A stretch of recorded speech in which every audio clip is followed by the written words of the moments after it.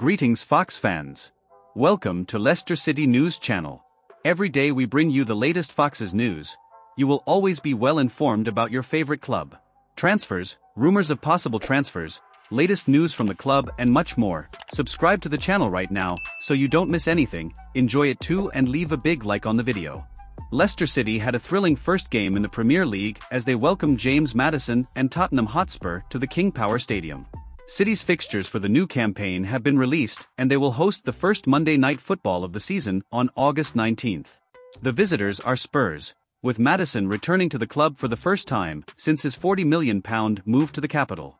The attacking midfielder could receive a mixed reception at Leicester.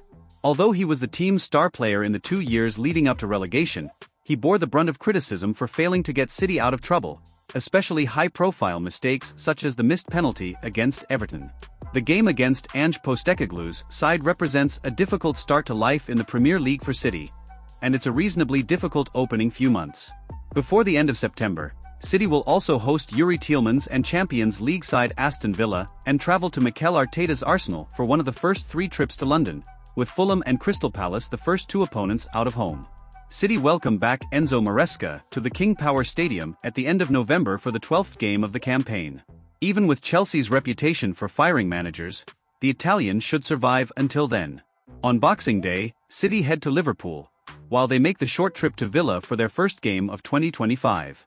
Their last five games could be huge if they are in a relegation battle, with Wolves, Southampton, Nottingham Forest, Ipswich, and a trip to Bournemouth in the final month of the campaign. Now see the full list of games. Game dates and kickoffs may still be changed if games are selected for live TV broadcast. What stands out to you from the games list? Let us know in the comment section below your opinion. Subscribe to our channel to stay well informed about foxes. Leave a like on this video and share it with your friends.